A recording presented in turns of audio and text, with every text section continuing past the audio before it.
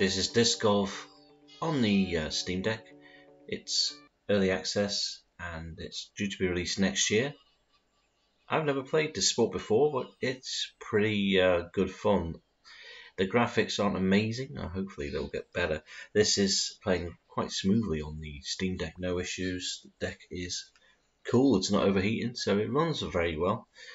Uh, yeah, I'd like to see some of the other maps. There's only one map at the moment and a practice putting range on the same map, which isn't bad. I gotta admit, this is kind of good fun. Navigating through the trees and everything like that and judging it. It's nice to get a, uh, well, I don't know what the hole in one is. Is it a hole in one or disc in one? but it's definitely worth checking out this game. I'll leave the links and everything below and don't forget to hit the like and subscribe button and enjoy the gameplay.